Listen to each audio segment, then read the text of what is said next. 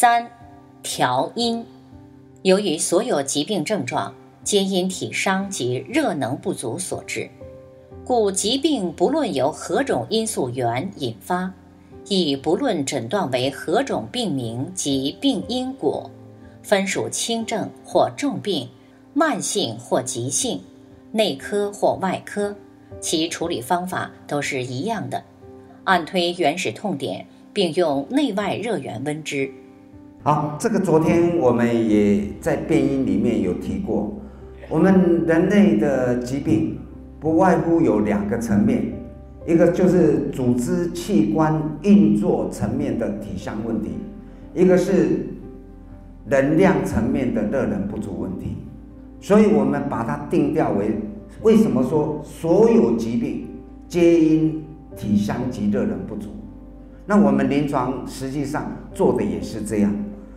那所以，我们如果已经确定了这样啊，那在治疗上也是的话，那我们就不要再理会啊，疾病啊是什么原因发发生的啊，也不要去说诊断啊，这个西医诊断的，哎呀，这个是什么病名啊？啊，那它的原因是什么啊？我们也不用去探讨这些。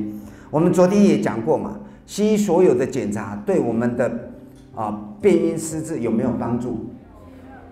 没有帮助啊，它不能反映体香跟热能不足啊，所以他所说的病名或病因跟我们也没有什么多大的关隔瓜葛。你看昨天我放的很多案例，包括啊乳癌啊那个烂掉的，还有黑角阿妈啊，这些都都是由我们从体香跟热能不足来解决的。那这些修复好了，哎，它自然就长出来啊。好，那昨天还有像牛牛皮癣的哈，这个很严重，这个应该医学也没办法处理。那我们也不要管它这个是什么病名，反正就是照我们体香跟热能不足这个方向去处理，也可以解决的出来。那也不用去分，哎呀，这个是轻症或是重病哦，急性或慢性。这个对我们也没有什么意义，轻症也是这样治疗，重病也是这样治疗。尤其昨天在变音，我们说得到疾病之后，我们分了很多层次，有轻症啊、轻偏重啊，到重症、到重病、重病以后种种处理，到命危。你看，连到命危的时候，我们的处理方式有没有变化？没有，我们还是一样，内外热源还有按推，一路都是这样做的。只是主次有别了哈，那也不用分内科外科，我们也没有这样分，所以它的处理方法都是怎么样？按推原始痛点，然后并用内外热源温之。哎，这个跟中医就有一点类似了。中医三大疗法就是什么？一针、二灸、三用药。那你看我们按推原始点就是代表跟一针是不是一样的？是，其实理是相通的。那内外热源呢？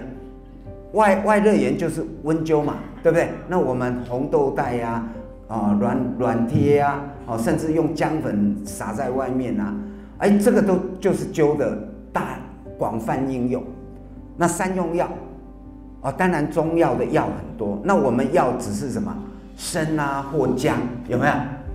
那其实呢，这个跟中医其实也没有背离，因为中药其实也很多温热药啊。你看十全大补啊，补中益气汤啊，归附八味丸啊，如此之类都是温补药。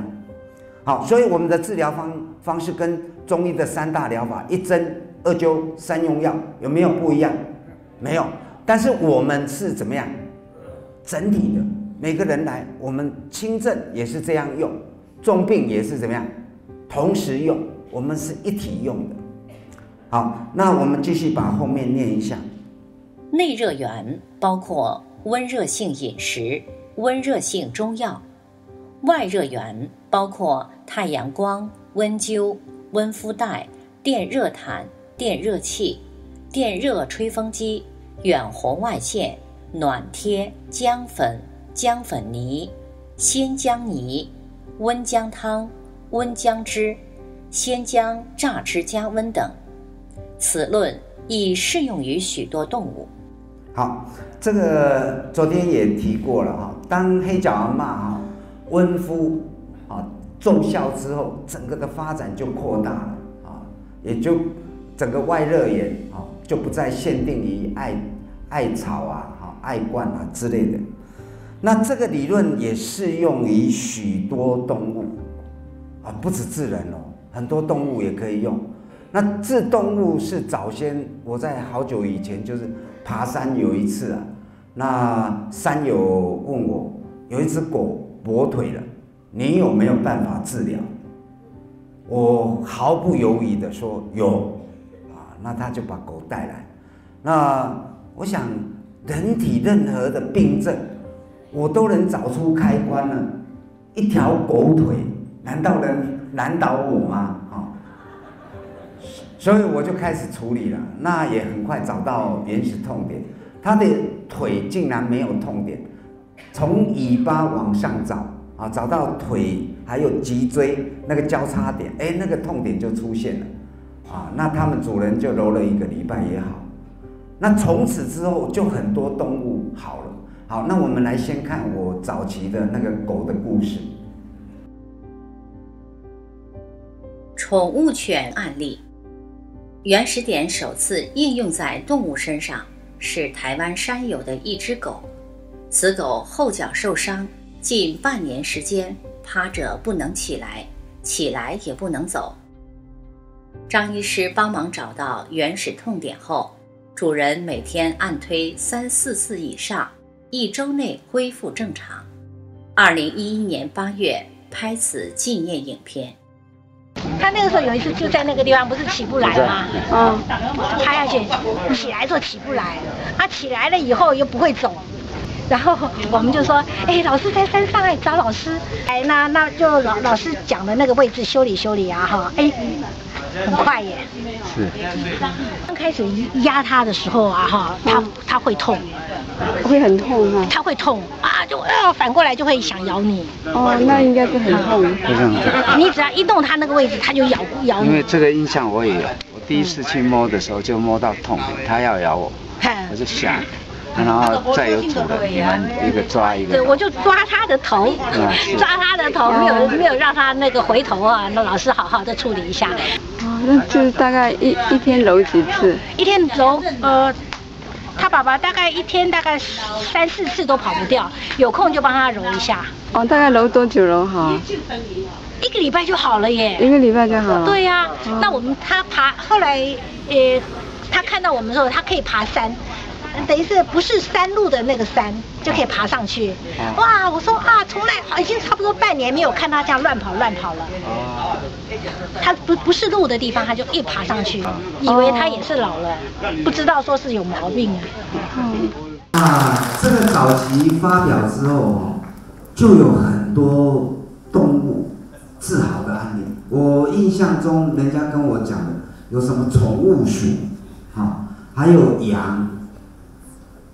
狗、乌龟、热带鱼、鸡，这些我都听过，而且都蛮精彩，只是有些都没有拍摄成影片，有一点可惜。那最近有一个鸡的跛脚鸡的案例，我们来放给大家看一下。母鸡案例：二零一六年三月十二号早上起床喂鸡，发现其中一只母鸡无法站立。似乎很痛苦，原先以为是脚受伤，帮他清洗后发现没有伤口，而且有发抖的情况。第一天只能躺，无法站立，奄奄一息。这时 赶紧拿些姜汤喂食，并从鸡腿开始往上找原始痛点。按到背部时，鸡突然叫得厉害，于是确定原始痛点。按完后，使用脖围将暖暖包固定在背部原始点。哎呦哎呦！开始从鸡腿上找原始痛点，按推时鸡叫的特别厉害。脊椎不是脊椎。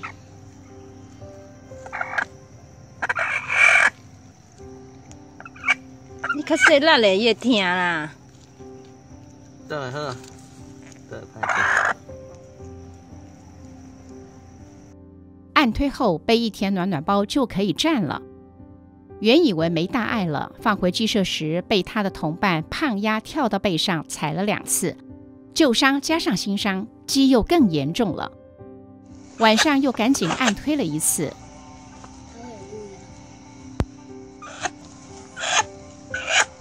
这条紧来看，这条。哎哎惊呢？你好。按推完第一天已可站立，约过了三天已可走路，七天后恢复正常。母鸡恢复后开始下蛋，比一般鸡蛋大很多。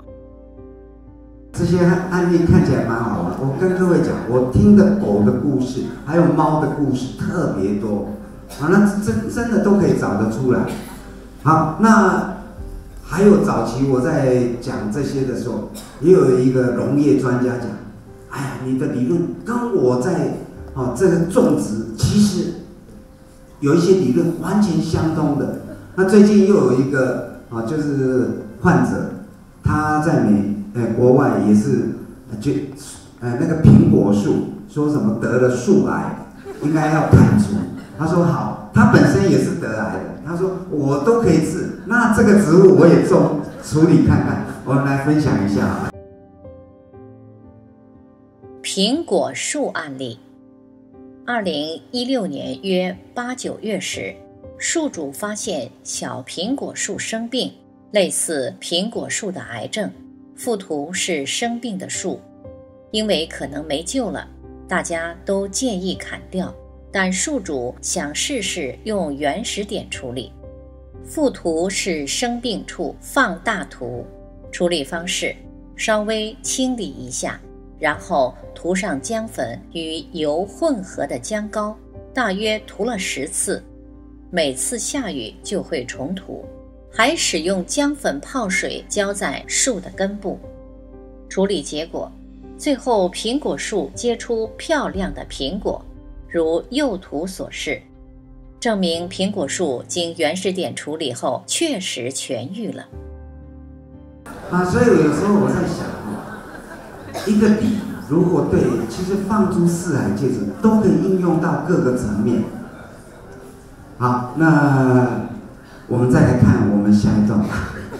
急性病如药食中毒、毒物、毒气及细菌病毒所伤、烫伤、脑震荡、脑中风、心脏病发、急性腹痛、肠粘连、梗阻、结石、盲肠炎等炎症，胎死腹中，可从因解除症状，以原始点方法处理。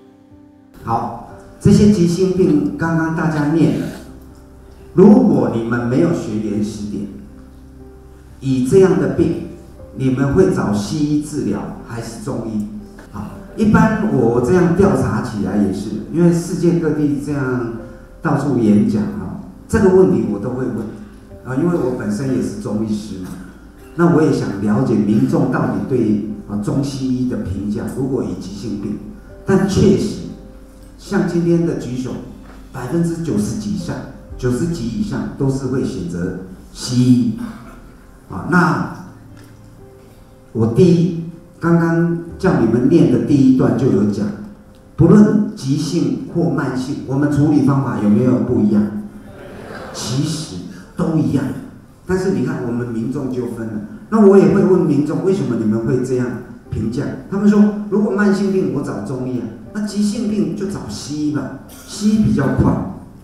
事实上，这个观念不一定对啊。那我们先以原始点的角度来把很多案例呈现，让大家也知道，原来这些急性病原始点也可以处理。那我刚刚讲的原始点跟中医的理论是什么呀？相通的。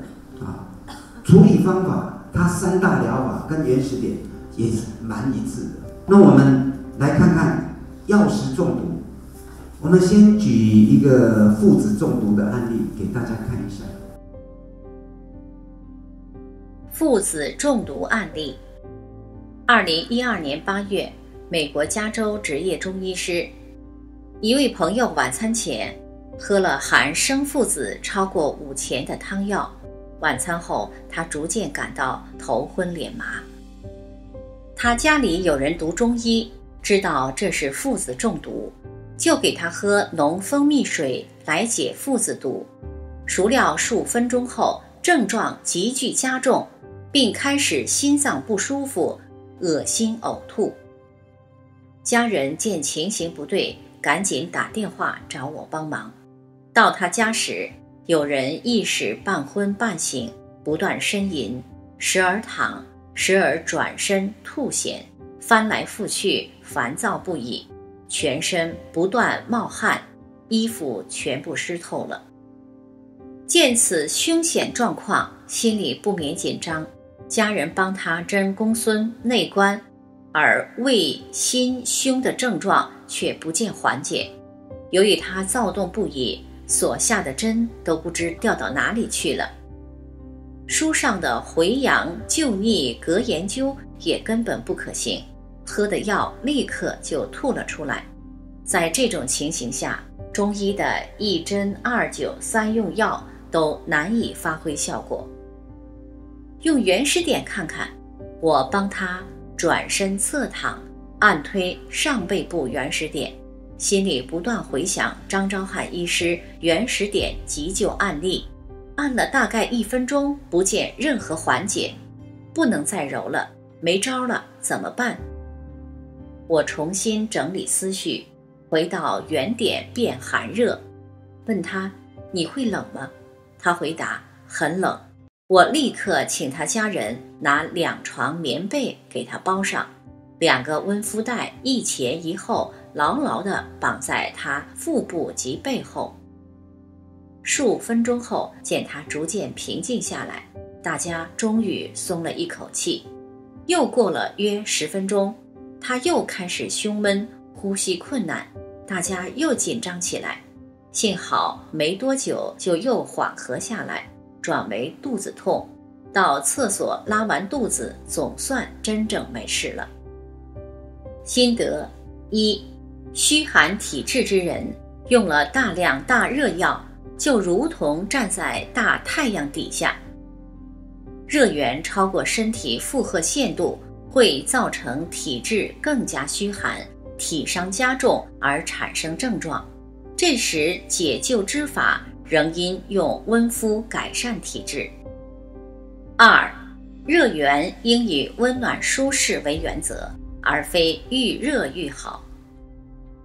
三，中医书上说附子中毒用蜂蜜水来解，这是有问题的。蜂蜜水属寒凉，喝了会造成体质更加虚寒，体伤更加严重。那这是附子中毒的案例。其实我也啊，光这一类的附子中毒处理的案例还听过蛮多的。好，那我们再来看。一个彩粉过敏，严重过敏，皮肤过敏案例。然后昨天下午参加我们小区的活动，就是中间有个环节，他要跑两圈，然后中间他要给你喷彩粉，就像 color run 一样。然后我跑了两圈，喷了四次彩粉，然后喷在了头上。一开始头很痒。然后后面到蔓延到手臂，然后蔓延到脚，全都是就是像起鸡皮疙瘩那种紫，一一开始很痒，一然后我就找我爸，我爸说没什么大不了，就叫我忍一下，然后就让我不要抠，给我用水冲了一下。过了一会儿，就越来越痒了，然后就不不停的抠，然后也很痛，就叫舅妈带我去洗了一下。然后一洗之后就觉得自己的耳朵肿了，洗了脸之后手已经就是水肿，就是水惨白惨白那种肿。然后脸洗了之后脸也是开始发烫，然后觉得自己的嘴唇都肿起来了，然后突然一下眼前就看不清楚东西花了，觉得心跳加速，然后呼吸也不顺畅，在路边干呕。然后后面舅妈就叫两个保安过来帮我，然后保安想拨幺二零，然后就把我背到上上面那个地方等车。我背到上面广场的时候，被我爸看到了，就发脾气，就是说不准去去医院，自己的女儿自己做主，不让去医院。然后那个时候你自己已经晕了，眼睛就是已经看不见了。然后我爸就给我处理了脑部原始点跟耳耳后面的原始点，给我灌了参汤。我上了舅妈的车之后，就给我按了心脏和胃区，还有头部原始点，然后给我灌了参汤。那个时候就已经好了很多了。就已经有一点力气，但是还是不舒服，还是想呕，但是能看到东西了。然后后面下了车之后，把我背到楼上去，开了电热毯，然后拿红豆袋温敷，灌了参汤，推了后背的原始点和头部的原始点，然后就睡过去了。醒来的时候七点多，吃了一点东西，就觉得好很多了，眼部。的肿已经消的差不多了，手还是有点肿，就差不多现在已经好了。感谢我爸，就是给我做了紧急措施，不然我就死在那了。然后感谢所有关心关爱我的人，还有张韶涵医师和袁世典。前后比对，处理前，处理后。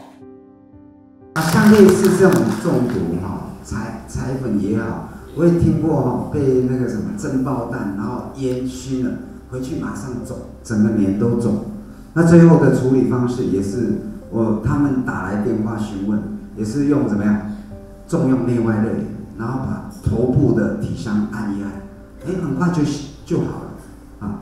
但有些中毒，他们因为来得及，有时候慌张也没有拍，有时候一天就好了。好，那我们再来看一些。啊，像蛇咬伤的啊，那个在早期哦，我二零一二年有去广西演讲，我就看到他们很多图片。我说那些蛇毒咬伤，很多到最后都会截肢嘛，那我一看，哎，这个不就是我们可以处理的吗？好，那之后就有很呃一些，我我就这样发表。那最近有人提供蛇毒用啊咬伤的案例，那我们来看。啊，这个蛇毒咬伤的蛇咬伤案例。案例一：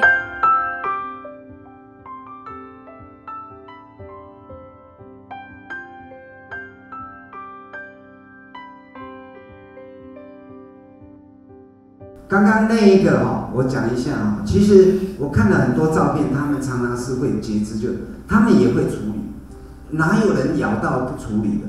但是就是处理的过程中，一般会擦药，那这些药很多含量，那以他们以为在杀菌啊、消毒啊，哎，结果越涂怎么样，越肿，然后最后就慢慢烂掉，最后就走向截肢。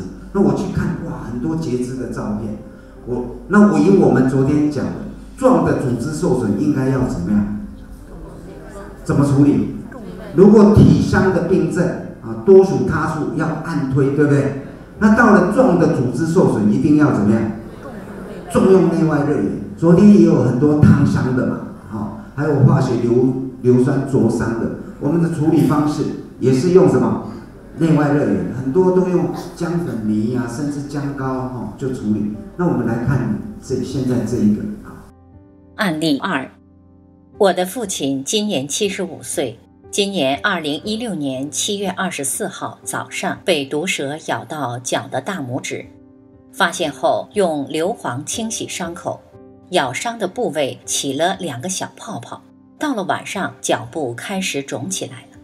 父亲的弟弟当时不同意用原始点方法处理，他们不相信在伤口撒姜粉、红豆袋温敷、喝姜汤就可以处理好。开始，我父亲也不相信这方法。在医院处理的第一天，精神恍惚，连讲话的气力都没有。那天，我开始给父亲全身温敷，喝一些姜汤。到了第二天，整个人就好多了。我当时真害怕父亲会走掉。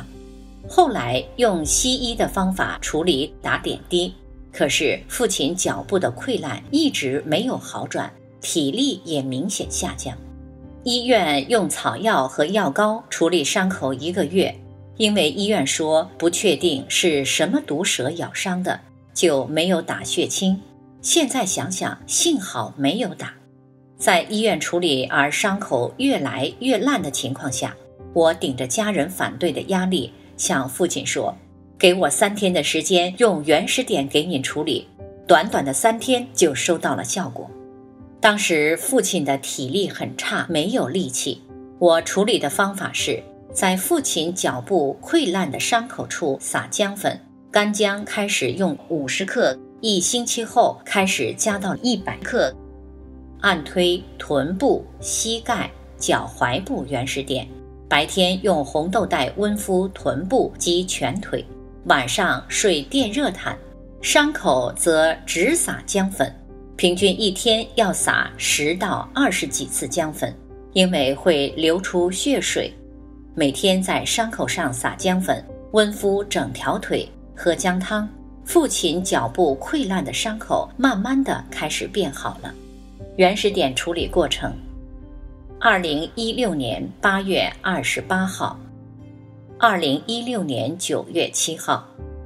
二零一六年九月二十一号与九月二十五号，二零一六年九月二十八号至十月十五号，二零一六年十月二十九号与十月三十号，二零一六年十二月十七号，二零一六年十二月二十六日，前后四个月比对，处理前。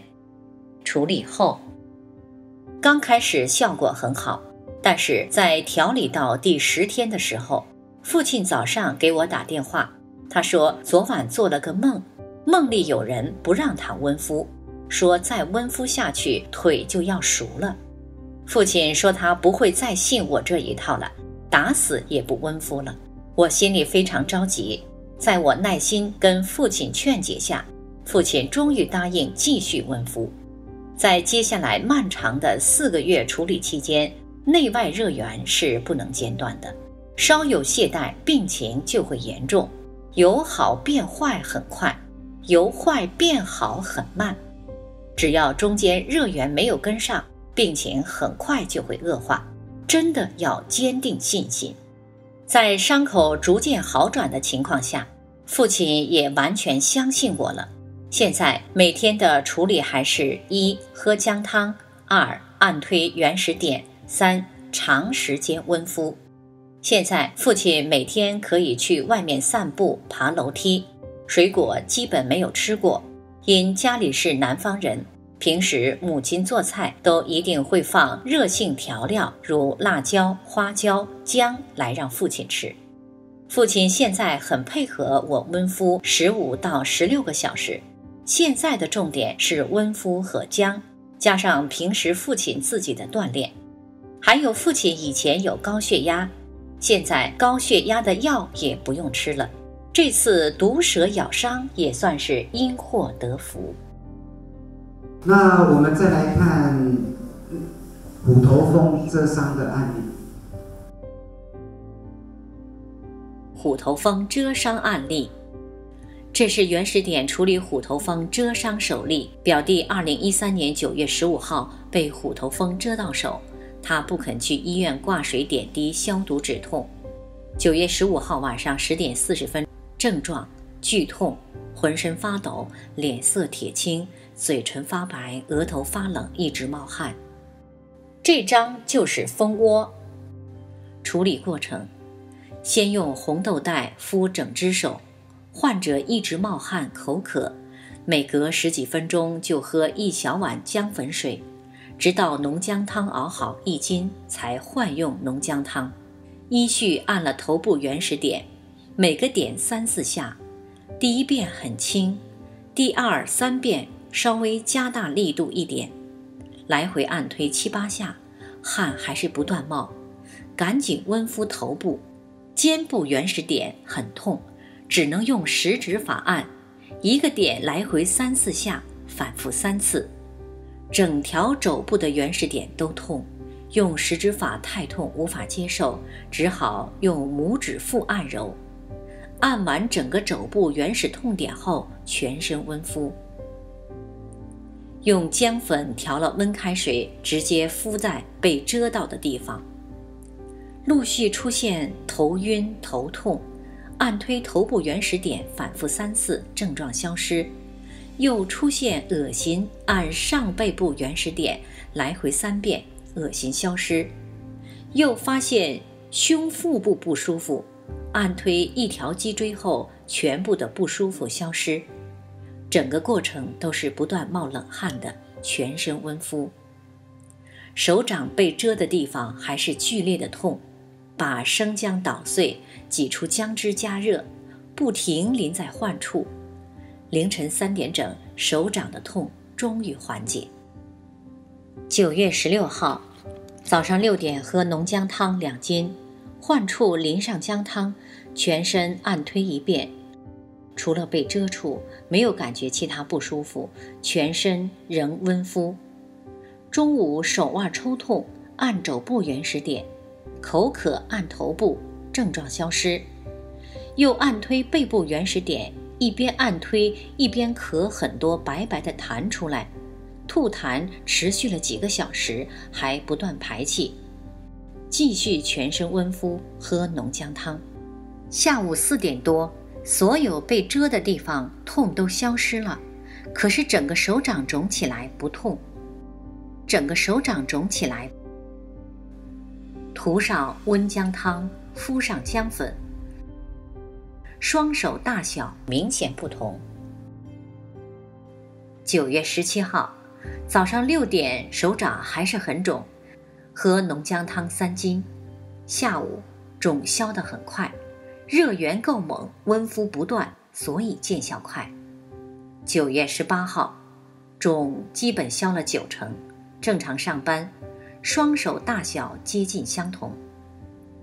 九月十九号，中秋节，今天终于全部正常，熬半斤生姜作为保健，双手大小恢复相同。前后五天，案例总结。这个案例告诉我们，只要我们用空杯的心去学习和运用，如理如法的去做，越严重的症状表示热能越不足，就需要更多的内外热源。只要落实以人为本、以病为师的精神，患者会如实的告诉我们他的感受。我们要随时随地的观察患者的反应，然后决定按推的次数、温敷的温度和时间、姜的用量。每一个人的体质不同，处理也不同，不能一概而论。另外，热能严重不足的时候，如果体伤没有按开，热能就会进不去，而出现假热的症状。只要体伤按推开后，再继续进热源，就能接受而感到舒服。整个过程，如果患者没有清晰的理念、坚定的信心，在开始四五个小时的剧痛中，很多人就会动摇。去寻求西医那些立马止痛的寒凉药，也就会让身体进一步趋向更寒。现在我终于更明白，体会到为什么有的人被虎头蜂蛰到会导致死人了，全是寒凉惹的祸。感恩张医师，感恩原始点，感恩患者对我的信任。那我们再来看一个狗咬伤的案例。狗咬伤案例，错误的开始。二零一三年六月一号晚上被咬，伤口的迷思，打破伤风及狂犬病疫苗，本处体伤，伤口使用生姜素将伤口覆盖。六月八号伤口恶化，求救基金会。张医师看过伤口后建议，按推上背部，姜泥温敷，伤口用姜粉。生姜素热能不够，不要包伤口。志工帮助处理伤口，红豆袋温敷，温姜泥敷伤口，姜泥上再盖红豆袋，持续温敷三十分钟。重症姜汤四百 CC 一大杯。正视伤口的严重性，开始以照顾重症患者的方式处理，并记录伤口变化。伤口处理每日早晚各一次。伤口处理：温姜汤清洗伤口，以温姜泥放在纱布上包起来后，敷在伤口上，外面包上毛巾，再以红豆袋包在外面，持续温敷一小时。伤口上涂姜粉，再以纱布覆盖，曾试过持续整日以暖暖包温敷伤口，局部热敷不舒服，按推上背部及臀部，尽量早晚各一次。姜汤六十克，干姜浓煎两千 CC，六百 CC。饮食不吃水果及冷饮，但无法完全禁寒量啊。运动因伤口在小腿，暂无继续运动。休息。因早晚要温敷，睡眠减少，仅剩六小时一天。密集至基金会观察伤口，因伤口状况未改善，连续两天至基金会协助处理伤口。六月十号，伤口开始有恶臭分泌物。六月十一号，伤口黑痂皮覆盖。至基金会处理方式：先将伤口上无感的黑痂皮清创。上下红豆袋加工，姜泥温敷面积增加，姜泥上红豆袋持续温敷三十分钟，浓姜汤四百 CC 一大杯。回家后继续加强热能补充，伤口处理再增加为早中晚各一次。温姜泥敷伤口，再以电热毯包在外面持续温敷，尽量持续一小时。曾试过全小腿包姜泥温敷，太热受不了。姜汤浓度增加为干姜一百二十克。开始恢复运动，每天爬楼梯十六楼一次，每周两次慢跑五公里，假日爬山。经过星期日的充分休息及整天的温敷，六月十五号伤口内部变红，六月十六号伤口开始湿润，伤口渐渐改善。六月十九号，伤口周边黑夹渐渐减少。六月二十九号，伤口开始长肉，伤口已愈合。七月一号，伤口已逐渐愈合。七月二十九号，伤口已完全愈合，见证的伤痕。九月二号，已剩疤痕。九月十六号，皮肤表面已恢复。前后比对，前后一百零七天。第一天，第一百零七天。总结：若再来一次，当下处理伤口，伤口以温姜水清洗后，温姜泥加红豆袋持续温敷，每天至少两次，每次一小时以上。伤口上撒姜粉，尽可能不要包覆伤口。每天两次全身按推原始点，全身温敷，喝姜汤。浓度视当时状况，充分的休息。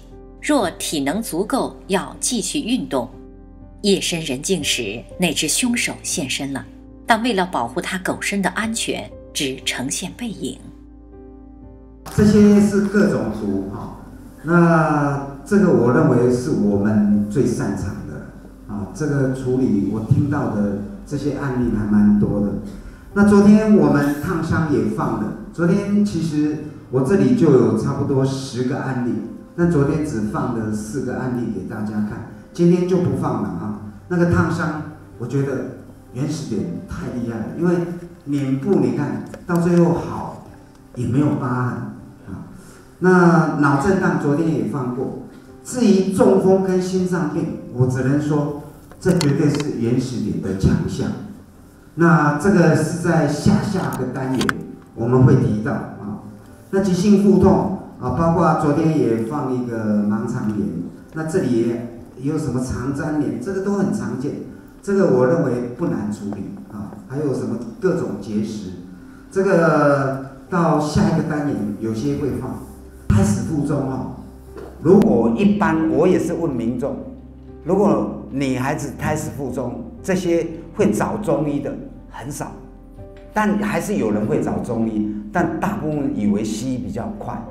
那这个案例哈，就是第一个案例是在洛杉矶一个张医师，他有跟我谈过这个问题，啊，刚好他也碰到啊，也应用了原始点的方法。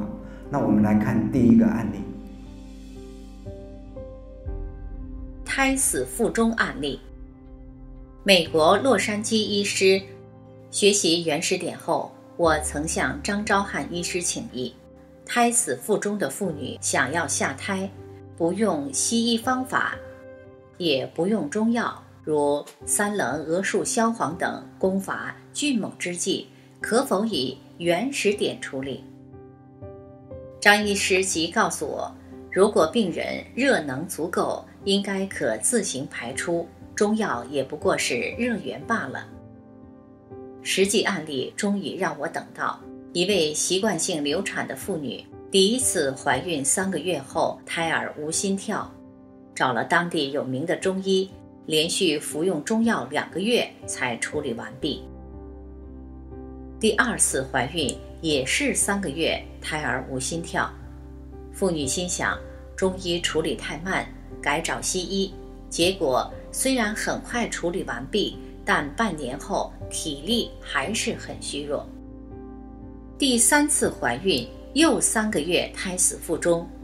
二零一一年十二月十九日，她来就诊时，胎儿已经没有心跳三个星期了，当时正有一些点滴出血。我分析给他听，只要人体有足够的热能，即可排出不需要的废物。包括粪便、结石，甚至是肿瘤、死胎。现在有点滴出血，正是身体企图要排出死胎之兆。查了病人的体质是极寒之后，我告诉他要每天常常温敷和休息，多吃热的，避免寒凉，并开立处方如下：当归三十克，川芎十五克。肉桂十五克，干姜十五克，生附子九克，以上五味熬成一碗，一天喝三碗。十二月二十日，毫无动静，甚至原本的点滴出血也没有了。于是我就把药量全部加到一点五倍，同样煮法继续服用。十二月二十二日开始有些许出血。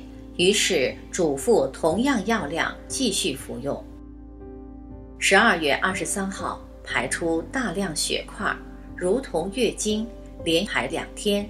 晚上腹部疼痛时，即请先生按原始点，立刻缓解疼痛，但一个晚上会反复多次。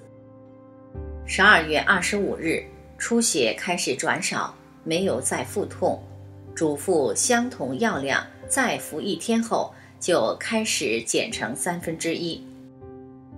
如此一直服到二零一二年一月七日左右，出血完全停止。整个疗程大约只花了不到三个礼拜。更可贵的是，处理期间病人的体力一直都保持很好，没有虚弱疲累的感觉，甚至出血减少那天。还外出过圣诞节，回来向我报告后直呼这次处理的最满意。心得一：当时我已知只要热源足够即可，但是为了让病人感觉比较专业，所以我开了五味药，不然我想只要一味热药即可。二，出血转少后。我应该维持同等药量继续服用，不应减成三分之一。我想这样病人身体的善后处理会更快。会减成三分之一，是我当时还有补遗缓的想法一闪而过，罪过。三，我用同等的药，同时去做了攻补的相反动作，所以再次印证了张医师的真知灼见。用药无所谓攻补、表里、补气、止血、活血等，其实那都是身体自行去处理的。四，经过这次的处理，病人的体力没有耗损过多，观念也慢慢调整，我想他离成功生下孩子的梦想也不远了。啊，这位张医师也很特别，他本身学的是西医。然后之后又觉得西医有一些不能处理的，结果又改学中医。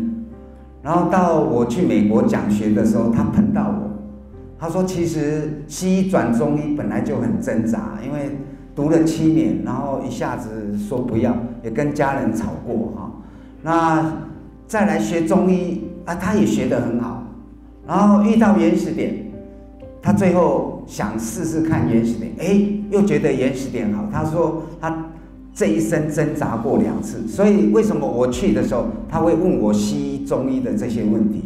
那他自己这样的案例有处理两例，效果都非常好。